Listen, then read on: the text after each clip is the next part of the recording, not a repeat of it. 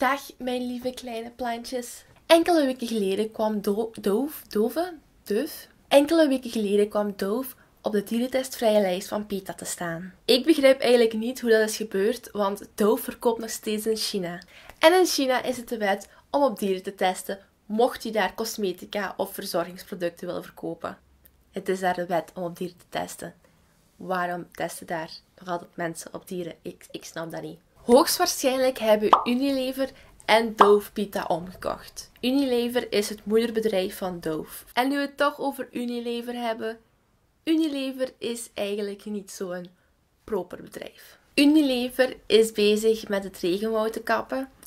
En in het regenwoud wonen veel dieren, ook veel bedreigde diersoorten, die waarschijnlijk doodgaan als het regenwoud niet meer bestaat. Ik ga niet dieper ingaan op Unilever, maar mocht je er meer over willen weten, in de beschrijving heb ik al mijn bronnen gezet. Dit gaat van video's tot artikels, dus leef je uit, lees heel de beschrijving, is echt de moeite waard. Ik vind het heel jammer dat we nog steeds in een wereld leven waar schoonheidsproducten en make-up, dus dingen die we eigenlijk niet nodig hebben, nog steeds getest worden op dieren. En er zijn heel veel succesvolle bedrijven, zoals Lush en The Body Shop en Kiko en NYX, die niet op dieren testen en die toch succes hebben. Ik begrijp gewoon niet waarom mensen nog steeds de nood hebben om op dieren te testen. Dus, wat hebben deze video geleerd? Dove test nog steeds op dieren, ook al zeggen ze van niet. En Unilever kaps het regenwoud, wat zeer deprimerend is.